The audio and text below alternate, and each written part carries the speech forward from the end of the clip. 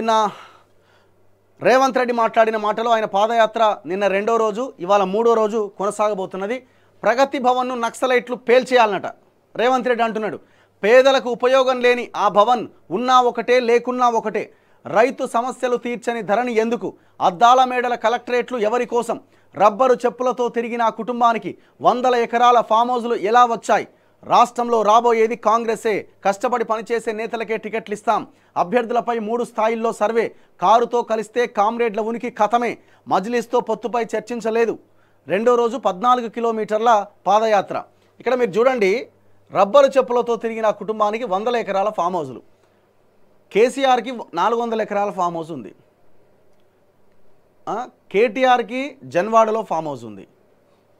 విదేశాల్లో పైసలు ఉన్నాయి కల్వకుంట్ల కవితకి ఇంద్రభవనం లాంటి బంజారాయిల్స్లో ఇల్లు శంకరపల్లి షామీర్పేటలో రెండు ఫామ్ హౌస్లు ఉన్నాయి సంతోష్ రావుకి వందల ఎకరాలు ఉన్నాయి ఫామ్ హౌస్ ఉంది. హరీష్ రావుకి ఫామ్ హౌస్ ఉంది. మరి ఎక్కడి నుంచి వచ్చినాయి వీళ్ళందరికీ? ఇలా బతుకులేంది ఒకప్పుడు? ఉత్త సైకిల్ డొక్కు సైకిల్ బతుకులు. హరీష్ రావు వెస్పా ఓడి సైకిల్ ఓడి ఇంకోటి ఇంకోటి ఇంకోటి.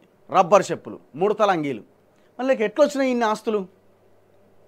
దోపిడీ చేసిన సొమ్ము మన సొమ్ము అన్నట్టు. మంది సొమ్ము మీద బతుకుతున్నారు వాళ్ళు. సో ఏదేమైనా ప్రగతి భవన్ నక్సలైట్లు పేల్చేయాలని ఆయన అడుగుతున్నాడు. దేనికి ప్రగతి భవన్ ఎవరు నిర్మించారు? తెలంగాణ ప్రజల పైసలతో నిర్మించిన ప్రగతి భవన్. ఏం జరుగుతున్నది ప్రగతి భవన్లో? ప్రగతి భవన్లో కండువాలు కప్పే కార్యక్రమాలు నడుస్తాయి.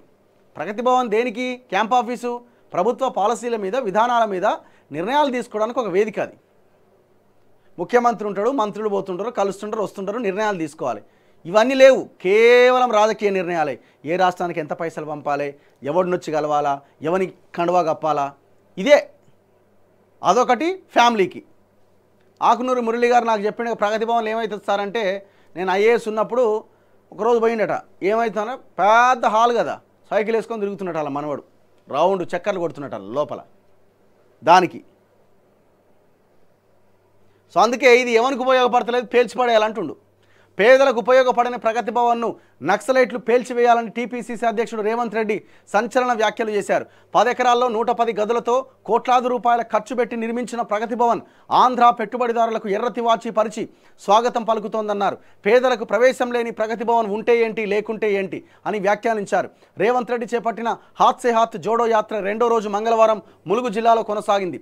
ఉదయం రామప్ప ఆలయాన్ని సందర్శించిన ఆయన రుద్రేశ్వర స్వామికి ప్రత్యేక పూజలు చేశారు. అనంతరం ములుగు జిల్లా కేంద్రం వరకు పద్నాలుగు కిలోమీటర్లు పాదయాత్ర చేశారు.